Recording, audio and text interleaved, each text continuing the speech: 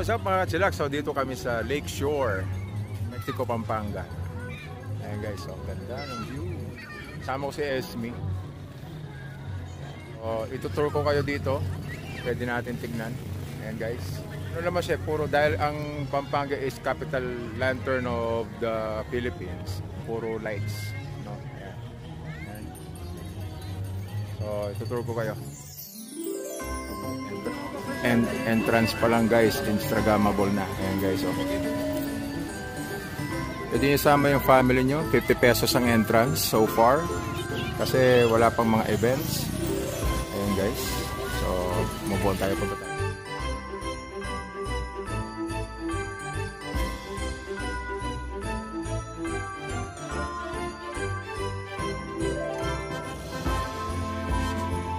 Green man, Meron silver. tayong Goldman. Ay, silver. Oh.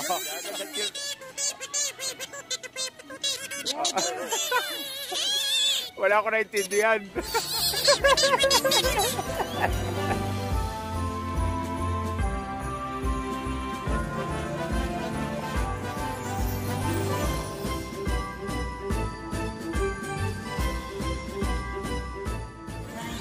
Ayan guys, may pa uh, movie viewing.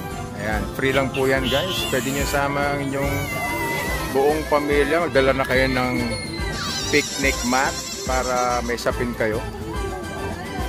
Guys, marami kang pwedeng pagpilian ng mga Instagrammable site. Kami sa Spiral. Yeah. So with different colors guys. Ang ganda ng ano, view.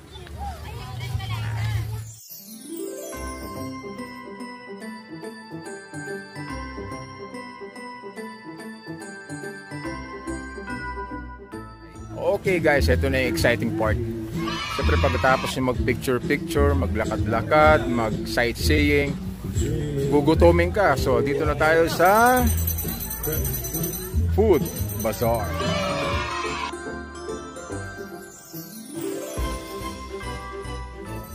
Eh, papakita ko sa inyo yung mga iba't ibang pagkain dito sa Lakeshore Food Bazaar. Okay? May mga chichirya guys. Ayan. May bie marangle.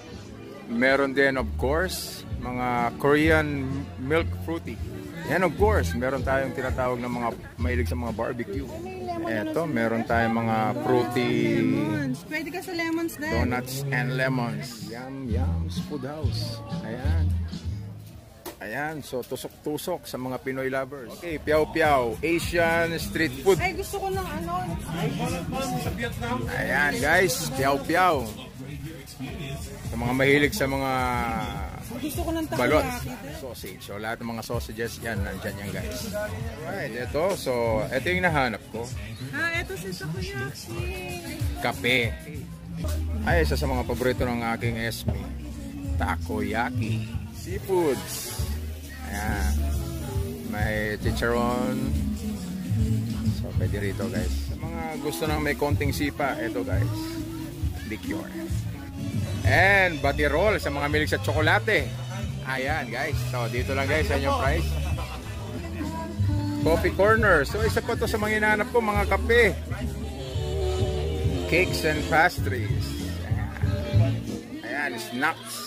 Ayan guys. Dahil napagod sa kakalakad, kakapicture, kain mo tayo. Ayan guys, yung order namin. Isang mango slash and lemon yakult. Alright! So ito, nakapwesto na kami guys. Sinintay ko lang si Mrs. Bumili siya ng takoyaki.